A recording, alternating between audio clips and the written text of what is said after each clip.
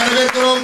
கத்தருமை இந்த நாளிலும் இந்த வாரம் முழுவதும் கர்த்தர் வல்லமே பயன்படுத்த உற்சாகமாக கரங்களை தட்டி.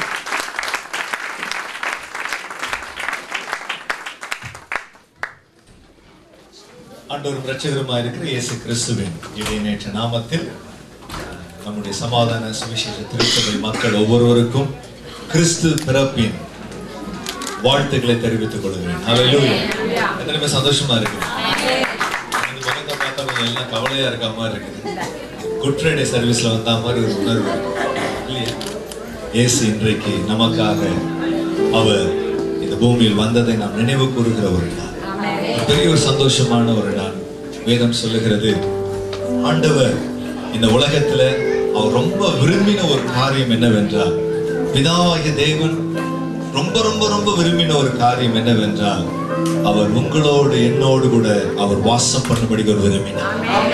அதற்காக அவர் எதையும் இழக்க ஆயத்தமா இருந்தார் எதையும் இழக்க அவர் ஆயத்தமா இருந்தார் என் அன்பு தேவ ஜனமே நம்ம ஒருத்தரை நேசிப்போம்னு சொன்னா அந்த நேசிக்கிற அந்த மனிதர் இருக்கிற இடம் தான் நமக்கு பரலோகமா இருக்கும். நம்ம ஒருத்தரை வெறுத்தோம்னா நீங்க பரலோகத்துல இருந்தாலும் அதுதான் நரகமா இருக்கும். ஆகவேதான் நீதிமொழிகள்ல சொல்லி இருக்கிறாரு வாயாடியோடு கூட சண்டைக்காரியோடு நீ அரண்மனையில் இருக்கிறத பார்க்கலாம் ஒரு குடிசையில் இருக்கிறது எவ்வளவு பரவாயில்லப்பான்னு சொல்லி. சகோதர முகத்துல எல்லாம் ஒரு சிரிப்பு வருது.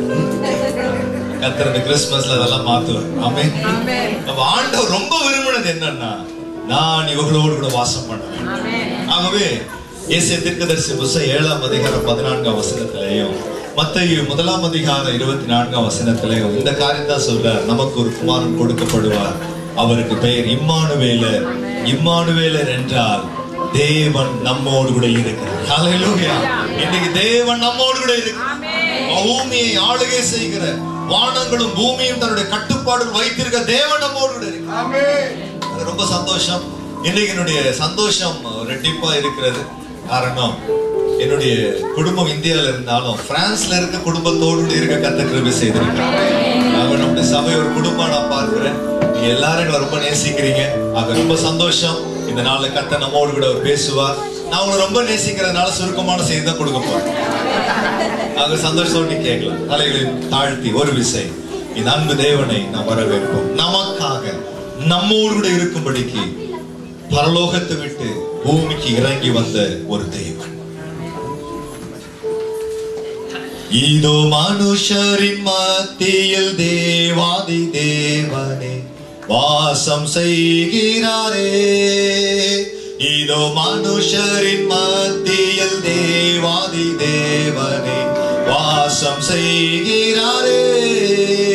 தேவ ஆலயமோ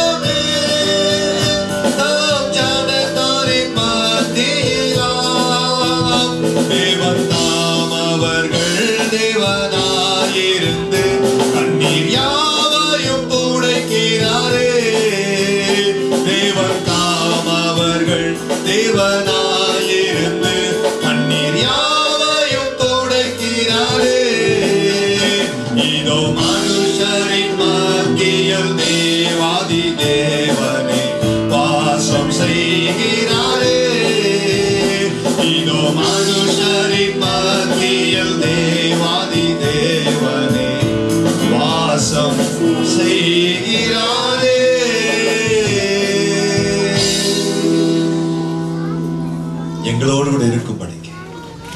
எங்களோடு வாசம் பண்ணும்படிக்கு. என்றென்னைக்கும் உம்மோடு கூட எங்களை இருக்க பண்ணும்படிக்கு. எங்களுக்காய் வந்த எங்கள் அன்பு தகப்பனை இந்த பரிசுத்தமான உங்களுடைய பிறப்பின் நற்செய்தி அறிவிக்கிற இந்த நேரத்துக்கு நன்றி செலுத்துகிறோம் நீர் வந்து எங்களை ஆசீர்வந்து ஆசீர்வதித்துக் கொண்டிருக்க கிருபைக்காய் நன்றி. நீர் எங்களோடு கூட பேசும் இயேசு மூலம் ஜெபிக்கிறோம். நல்ல பிதா. ஆ இருபத்தஞ்சு பன்னெண்டு ரெண்டாயிரத்தி பதினெட்டுல மாத்திரமல்ல. ஏறத்தாழ ரெண்டாயிரம் வருஷங்களாக ஒரு நற்செய்தி பிரசங்கிக்கப்பட்டு கொண்டே இருக்கிறது. அது என்ன நற்செய்தி? இன்றைக்கு உங்களுக்காக தாவீதின் ஊரிலே கிறிஸ்து என்னும் ரட்சகர் பிறந்திருக்கிறார். ரெண்டாயிரம் வருஷங்களாக ஒரே செய்தி மறுபடியும் மறுபடியும் சொல்லப்பட்டு கொண்டே இருக்கிறது. இந்த நற்செய்தியை கேட்டு உலகம் கழித்துக் கொண்டிருக்கிறது. என் அன்பு தேவ ஜனமே வேதத்தில் நீங்கள் பரிசுத்த வான்கள் மூலமாக தீர்க்கதரிசிகள் மூலமாக பல்வேறு விதங்களில் இந்த நற்செய்தியை ஆண்டவர் மறுபடியும் மறுபடியும் மனுக்குலத்துக்கு அவர் சொன்னதை நினைவுபடுத்தினதை நாம் பார்க்கலாம். இன்னைக்கு போதகர் வந்த உடனே லூக்கா நற்செய்தி புஸ்தக நூல் லூக்கா எழுதின நற்செய்தி நூல். இரண்டாம் அதிகாரம் பத்தாவது வசனத்துல மெய்ப்பொருளுக்கு சொல்லப்பட்ட அந்த நற்செய்தியை குறித்து அவர் வாசித்தார். என் அன்பு தேவ ஜனமே அந்த மெய்ப்பொருளுக்கு மாத்திரமல்ல இந்த நற்செய்தி. இயேசு வரப்போகிறார் என்கிற நற்செய்தி தேவனுடைய கிருபையினாலே ஏறத்தாழ நாலாயிரம் வருஷங்களாக தேவ ஜனங்களுக்கு பல்வேறு காலகட்டங்களில் நினைப்பூட்டப்பட்டு கொண்டே இருந்தது. நான் விசுவாசிக்கிறேன் இந்த மெய்ப்பர்களுக்கு சொல்லப்பட்டதுதான் கடைசி நியூஸ். அதுக்கு பிறகு எல்லாம் இயேசு பிறந்து விட்டார். இயேசு தன்னுடைய பிள்ளைகளுக்காக யாவற்றை செய்து முடித்து விட்டார் என்கிற நற்செய்தி தான் இப்பொழுது அறிவிக்கப்படுகிறது. எபிரேயர்கள் நிறுவ முதலாம் அதிகாரம் முதல் வசனத்தை நீங்க வாசித்தீங்கன்னா அங்கு வேதம் இவ்வாறு சொல்லுகிறது. வாசிப்பாள் எபிரேயர் ஒன்று ஒன்று. பூர்வ காலங்களில் பங்கு பங்காகவும் பங்கு பங்காகவும் வகை வகையாகவும் தீர்க்கதரிசிகளின் மூலமாய் பிதாக்களுக்கு திருவுளம் பற்றின தேவன். ஹalleluya அன்பு தேவ ஜனமே இயேசு கிறிஸ்து என்கிற ரட்சகர் பிறக்க போகிறார் என்கிற ஒரு நற்செய்தியை ஆண்டவராகிய தேவன் பூர்வ காலம் முதற்கொண்டு என்றைக்கு இந்த பூமியிலே மனுக்குலம் பாவத்தில் விழுந்ததோ அந்த நாளில் இருந்து என்றைக்கு இயேசு கிறிஸ்து இந்த பூமியிலே அவர் ரட்சகராய் பிறந்தாரோ அந்த காலகட்டம் வரைக்கும் வகை வகையாக வெவ்வேறு விதங்களிலே தீர்க்கதரிசிகளின் மூலமாக நம்முடைய முற்பிதாக்களுக்கு அவர் திருவுளம் பற்றி இருக்கிறார் ஆமென். இரண்டாயிரம் வருஷத்துக்கு முன்பதாக மெய்ப்பர்களுக்கு மாத்திரம் இந்த நற்செய்தி சொல்லப்படவில்லை. உலகம் எங்கிலும் இப்படி ஒரு நற்செய்தி சொல்லப்பட்டு கொண்டே இருந்தது. முதலாவது எங்கு இந்த நற்செய்தி சொல்லப்பட்டது என்றால் எங்கு யார் மூலமாக கிறிஸ்துவின் பிறப்பை குறித்த ஒரு தீர்க்க தரிசனம் முன்னுரைக்கப்பட்டது என்றால் என் அன்பு தேவஜனமே எங்கு மனுக்குளம் தன்னுடைய நம்பிக்கையை இழந்ததோ அதே இடத்துல நம்பிக்கை கொடுக்க வண்ணமாக ஏதே தோட்டத்துல பிதாவாகிய தேவன் ஆதாமுக்கும் ஏவாளுக்கும் ஒரு வாக்குறுதி கொடுக்கிறார். ஆதியாமத்து புஸ்தகம் மூன்றாம் அதிகாரம் பதினைந்தாவது வசனத்தை வாசிப்பீர்கள் என்றால் அங்கு பிதாவாகிய தேவன் சத்ருவை பார்த்து பிசாசை பார்த்து அவர் சொல்லுகிறார் உனக்கும் ஸ்திரீக்கும் உன் வித்துக்கும் அவள் வித்துக்கும் பகையை உண்டாக்குவேன். அவர் உன் தலையை நசுக்குவார். ஆறாயிரம் ஆண்டுகளுக்கு முன்பதாக. ஏதே தோட்டத்தில் சொல்லப்பட்ட அந்த தீர்க்க தரிசனம். காலங்கள் மாறினாலும் இந்த தீர்க்க தரிசனங்கள் மாறவே இல்லை. என்னாகமத்தி புஸ்தகம் இருபத்தி நான்காம் அதிகாரத்துக்கு நீங்கள் வரும் பொழுது அங்கு பீலையாம் என்கிற ஒரு தீர்க்கதரிசியை குறித்து வேதம் சொல்லுகிறது. அந்த தீர்க்க தரிசியின் மூலமாய் கத்து இஸ்ரவேலுக்குள் நடக்கிற ஒரு காரியத்தை சொல்லுகிறார். இஸ்ரவேலில் ஒரு நட்சத்திரம் எழும்ப போகிறது. இஸ்ரவேலில் ஒரு கோல் எழும்ப போகிறது. அந்த நட்சத்திரம் அந்த கோல் சத்துருக்களை சிதறடிக்க போகிறது. பல்வேறு காலகட்டங்களில். ஆதியாமதி புஸ்தகம் பன்னிரெண்டாம் அதிகாரத்தை வாசித்து பாருங்கள். ஆபிரகாமுக்குள் கத்திரந்த தீர்க்கதை சொல்லுகிறார் நாட்கள் வரும் உனக்குள் இருந்து பூமியின் சந்ததிகள் எல்லாம் ஆசீர்வதிக்கப்படும். பாருங்க ஆபிரகாம் என்கிற ஒரு மனிதனை கொண்டு ஆசீர்வதிக்கப்பட வேண்டும் என்றால் அவனுடைய பிள்ளைகள் மாத்திரம்தான் ஆசீர்வதிக்கப்பட வேண்டும். அவர் கத்தர் தீர்க்கதரிசனமாய் சொன்னார் ஆபிரகாமே நாட்கள் ஒன்று வரும் உனக்குள்ளா இருந்து இயேசு என்னும் ரட்சகர் வர போகிறார் அவர் மூலமா பூமியில் இருக்கிற சகல ஜனங்களும் ஆசீர்வதிக்கப்படுவார் நம்ம இந்தியா தேசம் ரொம்ப பெருமையா சொல்லக்கூடிய ஒன்று பல ஆயிரம் வருஷங்களை கொண்டிருக்கிற ஒரு ஒரு தேசம். ஏறத்தாழ நாலாயிரம் வருடங்களுக்கு முன்பதாக எழுதப்பட்டிருக்கிற இதிகாசங்கள் எல்லாம் நமக்கு இருக்கிறது. அந்த இதிகாசங்களில் நம் ரிக் சாம் அதர்வன வேதங்களில் வாசித்து பார்க்கும் பொழுது அந்த இதிகாசங்களில் சொல்லப்பட்டிருக்கிறது நாளொன்று வரும் இறைவனே மனிதனாக இந்த பூமிக்கு வருவார். இறைவன் மனிதனுடைய பாவங்களுக்காக ரத்தத்தை சிந்துவார். இறைவன் மனிதனுக்காய் பரிகாரமாய் மாறுவார். அவருடைய பெயர் பிரஜாபதி என்று எழுதப்பட்டிருக்கிறது. அவருக்கு அவருக்கு சிகப்பு அங்கியை சிகப்பு ஆடையை கொடுப்பார்கள். அவருடைய தலையிலே முள்ளினால் செய்யப்பட்ட கிரீடத்தை கொடுப்பார்கள். அவருடைய எலும்புகளில் ஒன்று உடைக்கப்படுவதில்லை. அவர் தன்னுடைய மனுஷர்களுக்காக ரத்தத்தை அவர் சிந்து பல்வேறு காலகட்டங்களில் பல்வேறு ஜனங்களுக்கு உலகம் முழுவதிலே என் அன்பு தேவ ஜனமே சரித்திரத்தை நாங்கள் திரும்பி பார்க்கும் பொழுது மறுபடியும் மறுபடியும் ஒரு காரியம் ஜனங்களுக்கு நினைப்பூட்டப்பட்டது. உங்களுக்கு ஒரு ரட்சகர் வருவார். இதை எந்த விதமான மனிதனாலும் மறுக்க முடியாது. எந்த ஒரு சக்தியாலும் மறுக்க முடியாது. இயேசு கிறிஸ்துவுக்கு முன்பதாக இந்த பூமியில் இருந்த எல்லா விதமான சமயங்களும் மதங்களும் ஒன்றை சுட்டி காட்டி கொண்டிருந்தது. இயேசு கிறிஸ்து என்கிற ரட்சகர் வரப்போகிறார். இரண்டாயிரம் ஆண்டுகளுக்கு முன்பதாக அந்த நாள் வந்தது. என் அன்பு தேவ ஜனமே பல்வேறு தீர்க்கதரிசிகள் மூலமாக அது சொல்லப்பட்ட சகரியா தீர்க்கதரிசி சொல்லுகிறார் ஒன்பதாம் அதிகாரம் பன்னிரெண்டாவது வசனத்திலே நம்பிக்கையுடைய சிறைகளே அரணுக்கு திரும்பங்கள் இரட்டிப்பான நன்மையை தருவேன். உங்களுக்கு ஒரு அரணான ஒரு ஆண்டவர் வரப்போகிறார். மீகா தீர்க்க ஏசிய தீர்க்கதரிசி மூலமாய் கர்த்தர் சொல்லுகிறார் உங்களுக்கு ஒரு அடையாளத்தை நான் சொல்லுகிறேன். அடிமைத்தனத்துக்குள் தோல்வியோடு போகிற ஜனங்களை பார்த்து அவர் சொல்லுகிறார் ஒரு கன்னிகை கர்ப்பவதியாகி ஒரு குமாரனை பெறுவாள் அவர் இம்மானுவேல் என்று பெயரிடுவார்களா? நண்பு தேவதனமே பலர் இயேசு கிறிஸ்துவனுடைய வருகையை குறித்து பிறப்பை குறித்து அவர் மூலமா என்ன நடக்க போகுது என்பதையெல்லாம் சொன்னாலும் ரொம்ப இன்ட்ரெஸ்டிங்கான ஒரு விஷயம் என்னன்னா அந்த ஹீரோவே அவரை பத்தி சொல்றதுதான். எதிர் விசுவாசிக்கிறீங்க? நான் என்ன பத்தி சொல்ற மாதிரி ஒரு ஹைலைட் எதுவுமே இருக்காது. அவ இயேசு கிறிஸ்து கடைசியா அவர் சொல்றார் நான் எதற்காக இந்த பூமிக்கு வந்தேன்? நான் வந்ததினால் என்ன காரியம் நிறைவேறப்பட்டிருக்கிறது நிறைவேற போகிறது? அதுதான் நம்ம இன்னைக்கு தியானிச்சு முடிக்க போகிறோம். லூக்காவது நட்சத்திரம் பத்தொன்பதாம் அதிகாரம் பத்தாவது வசனத்தை நான் வாசிக்க கேட்போம் லூக்கா பத்தொன்பது பத்து இழந்து போனதை தேடவும். ரட்சிக்கவுமே. மனுஷகுமாரன் வந்திருக்கிறார் என்றார். ஹalleluya இயேசு ரட்சகர் சொல்லுகிறார் நாலாயிரம் வருஷங்களாக தீர்க்கதரிசிகளின் மூலமாக பல்வேறு விதமான ஜனங்கள் மூலமாய் அடையாளங்களின் மூலமாய் சொல்லப்பட்ட தீர்க்கதரிசி நிறைவேறலாக இயேசு கிறிஸ்து வந்ததற்கான நோக்கம் என்ன? என் அன்பு தேவஜனமே எதை மனுக்குளம் இழந்து போனதோ எதை மனுக்குளம் பெற்றுக்கொள்ள முடியாது என்கிற ஒரு நிலைமையில் தள்ளப்பட்டதோ அதை மறுபடியும் பெற்றுக் கொடுப்பதற்காகவே இயேசு இந்த உலகத்துக்கு வந்தார். மனுஷன் இழந்து போனதை மீட்கவும் ரட்சிக்கவுமே மனுஷகுமாரன் இந்த உலகத்தில் அவர் கடந்து வந்தார். ஹalleluya சரி அன்பு தேவ ஜனமே எதை மனுக்குளம் இழந்து போனது? பாருங்க பரிசுத்த வேதாகமத்தை போல ஒரு நிறைவான ஒரு வேதாகமத்தை பார்க்க நிறைவான ஒரு புத்தகத்தை நீங்க பார்க்கவே முடியாது. ஒரு நிறைவு. ஒரு கதைன்னு சொன்னா எப்படி இருக்கணும்? ஆரம்பம் இருக்கணும் கிளைமாக்ஸா இருக்கணும். தொடருன்னு போட்டா வால்யூம் டூ வருதுன்னு அர்த்தம். உண்மைதான் எங்களுக்கு அப்ப நிறைய வால்யூம் டூ வால்யூம் த்ரீல ஜனங்க ஓடிட்டு இருக்கிறாங்க. ஆனா இந்த பரிசுத்த வேதாகமம் அது உலகத்தின் ஆரம்பத்தையும் அது குறிக்கிறது உலகத்தினுடைய முடிவையும் அது குறிக்கிறது. எப்படி தேவன் மனிதனை உண்டாக்கினார்? எந்த விதத்தில் அவனை ராஜரீகமாய் கர்த்தர் வைத்திருந்தார்? நாட்கள் வரப்போகிறது. எந்த ராஜரீகத்தில் அந்த மனிதன் முடிக்க போகிறான் என்கிற ஒரு நிச்சயத்தை பரிசுத்த வேதாகம் அது எழுதி வைத்திருக்கிறது. நேற்றை நடந்த சம்பவங்களை எழுதி வைத்திருக்கிறது. இன்றைக்கு நடந்து கொண்டிருக்கிற சம்பவங்களை எழுதி வைத்திருக்கிறது. நாளை நடக்க போகிற சம்பவங்களையும் பரிசுத்த வேதாகவும் எழுதி வைத்திருக்கிறது. அப்போ இந்த வேதத்தினுடைய முதல் பகுதிக்கு நாம் போவோம்னு சொன்னா எதை நாம் இழந்தோம் என்கிற ஒரு காரியத்தை நாம் கற்றுக்கொள்வதற்கு இலகுவாக இருக்கும். எதை நாம் இழந்து போனோம் எதை கிறிஸ்து நமக்கு மறுபடியும் பெற்றுக் கொடுத்திருக்கிறார். என் அன்பு தேவ ஜனமே ஆதியாபத்தி புஸ்தகம் மூன்றாம் அதிகாரத்துக்கு நம்முடைய கவனத்தை நாம் திருப்பும் பொழுது பத்தாம் வசனம் இவ்வாறு சொல்லுகிறதை நாம் பார்க்கலாம். வாசிங்க பார்க்கலாம். ஆதியா மூன்று பத்து. அதற்கு அவன் நான் தேவனுடைய சத்தத்தை தோட்டத்திலே கேட்டு நான் நிர்வாணியா இருப்பதினால் பயந்து ஒளிந்து கொண்டேன் என்றான். நன்கு தேவ ஜனமே வேதாகமத்துல மனுஷ சரித்திரத்துல முதல் முதலாக இந்த பயம் என்கிற ஒரு வார்த்தை எழுதப்பட்டிருக்கிறது. இதற்கு பின்பதாக தொடர்ந்து வேதாகமத்துல முன்னூற்றி அறுபத்தி ஆறு இடங்களில பயம் என்கிற வார்த்தை எழுதப்பட்டிருக்கிறது. பயப்படாதே பயப்படாதே பயப்படாதே. என் அன்பு ஜனமே இந்த சம்பவத்தில் நடந்த ஒரு காரியம் என்ன?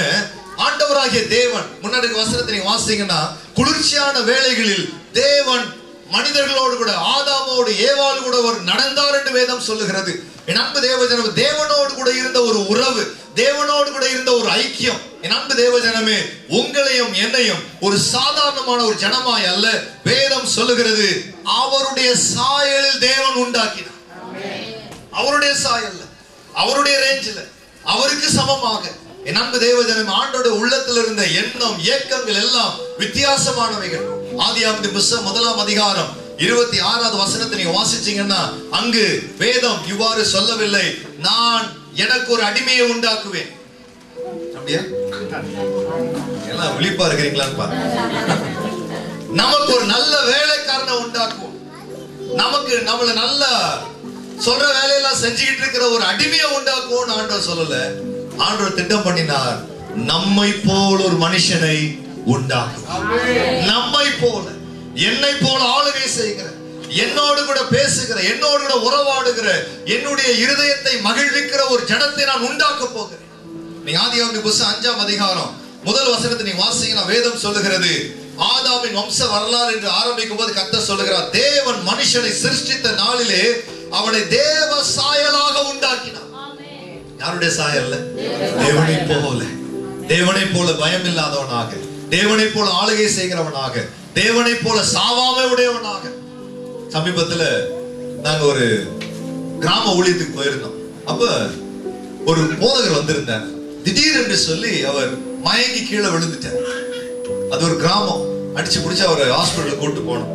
கூட்டு போனா அங்க இருக்கிற இசிஜி ஸ்கேன்ல இசிஜி மிஷின் ஸ்கேன்ல எல்லாம் பார்த்துட்டு சொல்லிட்டாங்க. அவர் எட்டு பிளாக் இருக்குது. அதே பா இருக்கிறதே எட்டு தான் அத்தனையும் பிளாக்கா இப்படி டிராபிக் ஜாம் ஆயிடுச்சா? உடனே நீங்க நகரத்துக்கு கொண்டு போங்க. போற வழியில கூட ஆள் செத்துருவாருண்டு அதுல பக்கத்துல இருக்க சிஸ்டர்ஸ் ரெண்டு பரலோக பாட்டுலாம் பாட ஆரம்பிச்சிட்டாங்க. பரலோக பாட்டு நிறுத்துங்க. ஆளை தூக்கிட்டு போவோம்னு சொல்லி மட்டம் மொட்டன் ஆம்புலன்ஸ்ல ஒழுங்கு பண்ணி கிட்டத்தட்ட ஒரு நாலு அஞ்சு மணி நேரம் தூரத்துல பக்கத்துல இருக்க சிட்டி இருக்குது. அங்க ஃபோன் பண்ணியாச்சு. டாக்டருங்க வாசல்ல காத்திருக்கிறாங்க. நம்ம ஊர்ல காசு தானே. டாக்டர் காத்திருக்க மாட்டாங்களா? அது எட்டு பிளாக்னோட அவன் நினைச்சிருப்பான். ஒரு பத்து லட்சம் வந்துடும் எல்லாம் அவளோட காத்திருக்க ஆன் த ஸ்பாட் தூக்குனாங்க. போயிட்டு அங்க ஒரு ஸ்கேன் பண்ணுவோம் அப்படின்னு சொல்லி ஸ்கேன் பண்ணா எட்டு பிளாக்கு காணும். என்னடா இது? அங்க- பார்த்தா பிளாக் இருந்துச்சு. ஒரு நம்ம ஒரு ஆள் ஒரு நம்ம பையன் வர விளையாட்டு சொன்ன பள்ளத்துல குடுக்குனது நல்லதா போச்சுன்னு எல்லா எல்லா பிளாக்கும் வந்துருச்சு. டாக்டர் கூப்பிட்டு சொன்னாரு அங்க பார்த்த ஸ்கேன் உண்மைதான். இங்க பார்த்த ஸ்கேனும் உண்மைதான். லட்சத்துல ஒருத்தர் சொல்றாரு கடவுள் உண்டாக்கின பொழுது மனுஷன் எப்படி இருந்தானோ அப்படிப்பட்ட அவயம் இருக்குமா? கத்தர் உண்டாக்குன போது மனுஷன் எப்படி உண்டாக்குனாரா? சாவில்லாதவனா உண்டாக்குனார்? அவன் மரணத்துக்காக கத்தர் உண்டாக்கல. என்றடைக்கு என்னோட வாசம் பண்ணும்படி என்றடைக்கு என்னை துதிக்கும்படி என்றடைக்கு ஆளுகை செய்யும்படிக்கு அப்போ மனுஷனுடைய உடம்புல கத்தர் ஒரு இயற்கையா ஒரு காரியத்தை வச்சிருந்தாரா? தன்னுடைய பிரச்சனையை தானே சால்வ் பண்ற பிரச்சனை. இன்னைக்கும் அது ஒரு லட்சத்துல ஒருத்தருக்கு இருக்குதுன்னு அந்த டாக்டர் சொல்றாரு. அந்த இருதயம் என்ன பண்ணுமா? அது பிளாக் அதுவே கிளீன் பண்ணிடும் அவர் சொன்னார் இந்த மனுஷன் ஹார்ட் அட்டாக்ல மட்டும் சாவ மாட்டார் சார் வேற எதுலயாவது செத்தாலும் சாவார தவிர ஹார்ட் அட்டாக் சாவ மாட்டார். பாருங்க எவ்வளவு ஒரு ஆண்டவருடைய கிருவை பாருங்க. மனிதனை ஒரு வித்தியாசமான ஒரு நிலையில கத்தரோட உண்டு பண்ணி வைத்திருந்தார். ஆனா நடந்த ஒரு காரியம் என்ன? மனுக்குளம் தனக்கு கிடைத்த அந்த ராஜரீகத்தை அந்த ஆசீர்வாதத்தை அது இழந்து போன ஆனா உடனே நம்ம யோசிக்கலாம். என்னடா இது? இந்த ஆண்டு ரொம்ப மோசமான ஆண்டு போல இருக்கு. செத்த தவிச்ச வாங்கி தண்ணி கொடுக்காம நாலாயிரம் வருஷம் கழிச்சு வந்திருக்கிறார். யோசிக்கிறீங்களா?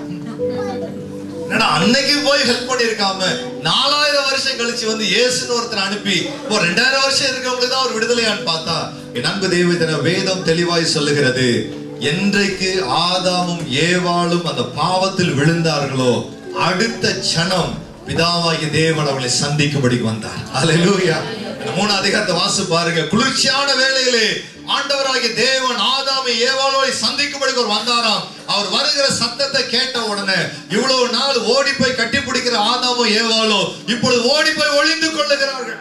என் தேவ ஜனமே வேதத்தை நாம் நன்றாய் தியானிக்கும் போது ஒருவேளை நம்ம நினைக்கலாம் இந்த உலகம் முழுவதும் அநேக கிறிஸ்தவர்களுக்கு இருக்க இருக்கிற ஒரு தவறான ஒரு மனப்பான்மை என்னன்னா பிதாவாகிய தேவன் ரொம்ப ஸ்ட்ரிக்ட் அப்படிதான் அவர் ரொம்ப ஸ்ட்ரிக்ட்டுங்க ரொம்ப பொல்லாதவருங்க. குமாரனா இயேசு தான் கொஞ்சம் பரவாயில்ல கொஞ்சம் அல்வாலாம் கொடுத்துக்கலாம். அட்ஜஸ்ட் பண்ணிக்கலாம். ஆனா வேதம் சொல்லுகிறது யோவான் மூன்றாம் அதிகாரம் பதினாறாவது வசனத்துல என் அன்பு தேவஜனமே இவ்வளவாய் உலகத்தை அவர் அன்பு கூர்ந்தார். எவ்வளவு அன்பு கூர்ந்தாரா? தன்னுடைய குமாரனாகிய கிறிஸ்துவையே நமக்காக பாருங்க உடனே அந்த இடத்துல அவர்களை காப்பாற்றும்படிக்கு பிதாவாகிய தேவன் அவர் கடந்து வருகிறார். நடந்த ஒரு சம்பவம் என்ன? நேரம் குறுகினா இருக்கு நான் வேகமா முடிக்கிறேன். அப்பொழுது ஆதாமும் ஏவாளும் தங்களை ஒழித்துக் கொள்ளுகிறார்கள். என் அன்பு தேவ ஜனமே யாருக்கு பயம் வரும் என்றால் வேதம் சொல்லுகிறது ஒன்றியோவான் நான்காம் அதிகாரம் பதினெட்டாவது வசனத்துல அன்பு பயம் அறியாது அன்பு பயத்தை புறம்பே தள்ளும். யாருகிட்ட அன்பு இருக்குதோ அவங்க கிட்ட பயம் இருக்காது. யாரு மேல உங்களுக்கு நம்பிக்கை இருக்குதோ அவங்க கிட்ட பயம் இருக்கவே இருக்காது. இந்த வாலிப வயசுல நான் பிரச்சனை பண்ணாத நாட்களே கிடையாது. என்ன ஒரு பெரிய தமிழ் ஜனங்களுக்கு இருக்க ஆசீர்வாதம் என்னன்னா போட்டு கொடுத்துருவாங்க. நம்ம தமிழ் ஜனங்கள்லாம் பார்த்துருக்கோம் பிரெஞ்சுக்காரில் பார்த்தது இல்லை ஆகவே நான் செஞ்ச காரியம் எல்லாம் நான் வந்து சேர்றதுக்குள்ள வீட்டுக்கு வந்து சேர்ந்துடும் சரிங்களா? ஆக எனக்கு நல்லா தெரியும் ஓ, இந்த அண்ணன் பார்த்துட்டாரா? மேட்ரு போயிருட்டா? இத்தனைக்கும் அப்போ மொபைல் போனே கிடையாது. மொபைல் போன் இல்லாத போதே இவ்வளவு ஃபாஸ்டா சொல்லியிருக்காங்கன்னா இப்போ யோசிச்சு பாருங்க. ஆகவே ஒன்று நல்லா தெரியும் நான் செஞ்சது மறைந்திருக்கவில்லை. எப்படியாவது வெளியே வந்துரும் சொல்லி தெரியும். ஆகவே நான் போய் சரண்டர் ஆகிற இடம் எதுனா எங்க அம்மா தான். நேராக கிச்சனுக்கு போயிரும் கிச்சனுக்கு போய் சரண்டர் ஆகிற எனக்கு ஒண்ணு நல்லா தெரியும். அம்மாவால என்ன தண்டிக்க முடியாது. ஒரு கான்பிடன்ட் ஏன்னா அம்மாவுடைய அன்புக்கு மட்டும் இலக்கணமே கிடையாது பாருங்க. அது எந்த பக்கம் பாயினே சொல்ல முடியாது. நான் அடிக்கடி வேடிக்கையா சொல்லுவேன். ஒரு மகன் நல்ல மலையில நனைஞ்சிட்டு வீட்டுக்கு ஓடி வந்தானா வந்த உடனே அப்பா வாசல் உட்காந்துருக்க அப்பா அம்மார்களுக்கு எப்பயுமே தான் பண்ற தியாகத்தை சொல்லி காட்டினா ஒரு சந்தோஷம் கிடைக்கும். ஆனால் அவங்க தியாகத்தை யாருமே ரெகனைஸ் பண்றது இல்லை நம்மளா சொல்லிட்டே தான் உண்டு. வந்த உடனே சொன்னாரா டேய் நான் படாத பாடுபட்டு பனியிலையும் குளிர்லையும் கஷ்டப்பட்டு ஒரு ஹீரோ ரெண்டு ஹீரோவா சேர்த்துட்டு வந்து இப்படி சேர்த்து வச்சா நீ இப்படி பொறுப்பு இல்லாம மலையில நனைஞ்சிட்டு வந்து சளி காய்ச்சலை கொண்டு வந்து நான் அந்த பாலா போன டாக்டருக்கு ஹீரோவை கொடுத்து இப்படி எல்லாம் கஷ்டப்படணுமாடா? ஒரு கொடையை கொண்டு போக கூடாதானா அறிவு இல்லையாடா உள்ள இருந்து அக்கா ஓடி வந்தாலும் அப்பா கிட்ட இருந்து காப்பாத்துறது. என்னடா தம்பி அறிவு இல்லையா சட்டையை கட்டி தலையில போட்டு வரக்கூடாதா? தலையாவது நனையாம இருக்குமே அண்ணங்கார ஓடி வந்தான். அவன் பஸ் ஸ்டாண்ட் ஸ்பெஷலிஸ்ட் போல இருக்கு. அவன் சொன்னான் டே வழியில எத்தனை பஸ் ஸ்டாண்ட் இருக்குது? ஒரு பஸ் ஸ்டாண்ட்ல நின்று வரக்கூடாதா? எல்லாம் அவனுக்கு அறிவு இருக்கான்னு சோதிச்சுட்டு இருக்கும் இருக்கும்போது அம்மா கிச்சன்ல இருந்து ஓடி வந்தாங்களாம். அந்த முந்தானில தலையை தொட்டிட்டே சொன்னா நாசமா போற மழை எப்பயா வரணும். என் பிள்ளைய நினைச்சிருச்சு இவன் நினைச்சதுக்கு யாருக்கு திட்டு பாருங்க? நாசமா போற அப்போ யாருக்கிட்ட நம்பிக்கை இருக்குதோ அவங்க கிட்ட நம்ம எப்படி வருவோம்? தைரியமா வரும் யாருக்கிட்ட நம்பிக்கை இருக்குதோ அவங்க கிட்ட நம்ம குற்றத்தை மறைக்க மாட்டோம். குற்றத்தை நாம் ஒத்துக்கொள்வோம். யாருக்கிட்ட நமக்கு நம்பிக்கை இல்லையோ அவங்க கிட்ட நம்ம என்ன செய்வோம்? நம்ம பாதுகாத்துக் கொள்வதற்காக விளக்கங்களை சொல்ல ஆரம்பிப்போம். நான் ஒரு நாளும் குற்றத்தை ஒத்துக்க மாட்டேன். காரணம் என்னன்னா அவன் மேல நமக்கு நம்பிக்கை இல்லை.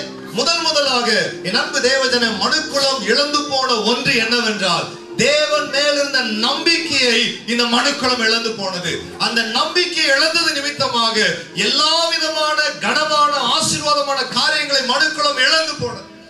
விலாசோ நீ நல்ல வாசு பாத்தீங்கன்னா அங்க மூன்று பேர் இருக்கிறார்கள். ஆதாம் ஏவா விசாஸ் மூணு பேர்கிட்டயும் ஆண்டவர் வந்து ஒரு விசாரணை மாதிரி நடத்துறார். பாத்தீங்கன்னா நேர குறைவா நான் நேரா சொல்றேன்.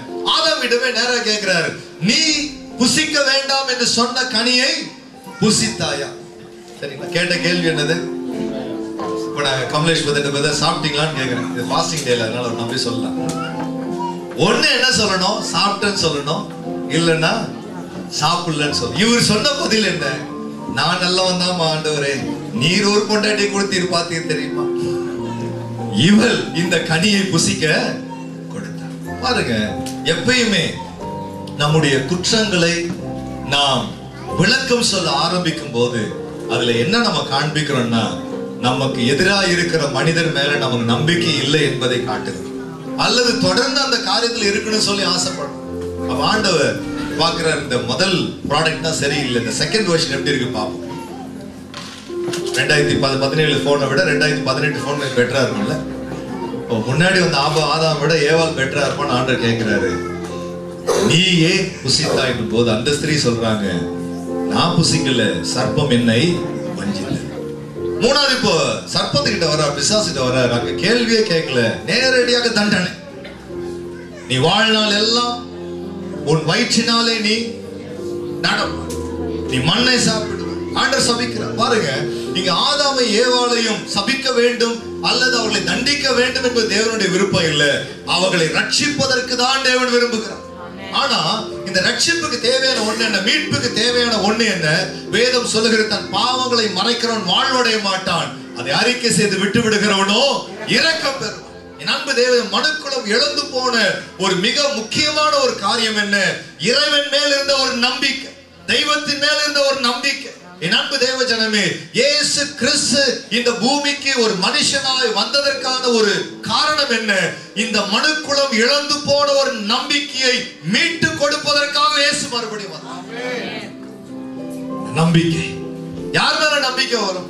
என் அன்பு தேவ ஜனமே நம்மை போல பாடுபடுகிற ஒரு மனிதனை பார்க்கும் பொழுது நம்மையும் அறியால் நமக்கு ஒரு நம்பிக்கை வரும். நான் என்னுடைய வாழ்க்கையில நிறைய சாட்சிகள் இருந்தாலும் ஒரு முறை ஒரு ஸ்பெஷல் மீட்டிங்ல கன்வென்ஷன்ல மூணு நாள் கூட்டம். அது பெரிய பெரிய ஊழியர்கள் வந்து பிரசங்கிக்கிற ஒரு கூட்டம். அப்போ அந்த கூட்டத்துக்கு பிரசங்கம் பண்ண வந்திருந்த போது அந்த சாட்சியில என்னுடைய வாழ்க்கையை எப்படி இயேசு ஆசீர்வதித்தார் எப்படி என்னை ரட்சித்தார் என்று சொல்லிக் கொண்டு வரும்போது ஒரு காரியத்தை சொன்னேன். என்னுடைய பன்னிரெண்டாவது வகுப்புல ஏழு லெவல்ல ஏழு தடவை நான் ஃபெயில் ஆகி துக்கத்துல இருந்தேன். ஆண்டவர் இந்த முட்டாளை நேசித்து ரட்சித்தார்.